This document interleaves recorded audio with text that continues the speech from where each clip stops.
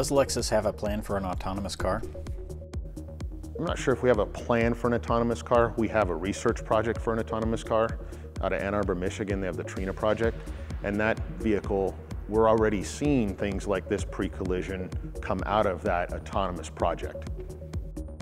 Tell us about the Lexus Advanced Pre-Collision System. When we look at the 2013 LS460, we can take its advanced pre-collision system and help mitigate collisions by using the millimeter wave radar, the stereo cameras, can actually, between the two, detect hard objects and soft objects such as pedestrians.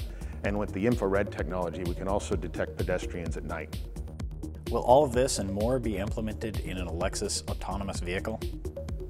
I almost, I almost go the other way, Tony, where we have this autonomous car project, and from that, we're able to get things like this pre-collision system, the active braking, the pedestrian detection, things like lane keeping assist.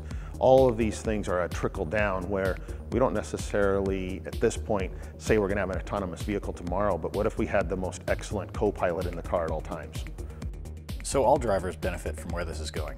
Yeah, and it's already happened. I mean, if we go way back, things of, uh, you know, autonomous car starting, go back to things like ABS, traction control, all those things are in an autonomous car to the most advanced stages today of the advanced pre-collision system, being able to detect the vehicles, detect pedestrians at day, at night, moving. All these things are a trickle down from that autonomous projects that we, from the autonomous projects that we have. So like blind spot monitor, uh, rear cross traffic alert, all watered down things from that autonomous project. So we're, we're reaping benefits from these type of, of research projects already where they go in the future, I, think we're all, we're all anxious to see where that goes. Are Lexus vehicles going to be able to communicate with each other on the road? Not currently here, but in Higashi Fuji, they have a uh, test track that's almost nine acres, and they actually have communication to infrastructure, communication to pedestrian, communication to cars, and they're studying, they have a whole city that they study this type of uh, system with. So we have the Trina project kind of autonomous vehicle here in Ann Arbor, and then we have the ITS proving grounds in Higashi Fuji that, that work on that infrastructure there. So kind of two different projects running a parallel uh, ground. How about vehicles from one brand communicating with another?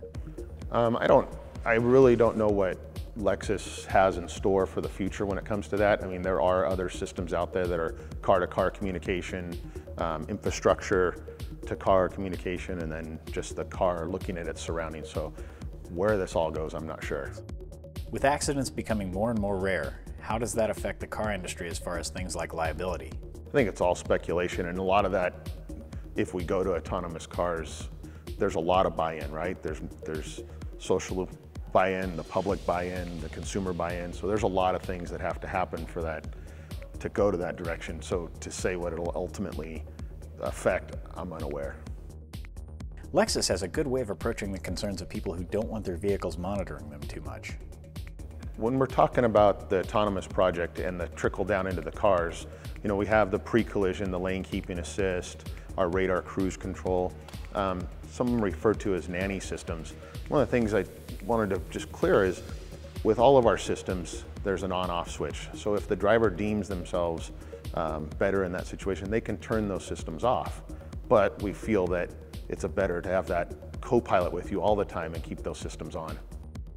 What else do we need to know about what Lexus is currently working on regarding driverless cars and safety? I think like with our autonomous car project in Trina, what I, I guess what I'd really want you to know is that from that autonomous vehicle that we have, that research and development project, we're able to trickle those types of technologies, not only from our Halo car of the LS, it's starting to go down into other vehicles like the lane keeping assist in the GS and um, pre-collision in, in our cars all the way down to the CT. So we're not just at that high end, we're able to trickle it all down and as next thing you know, we'll have it in all the cars.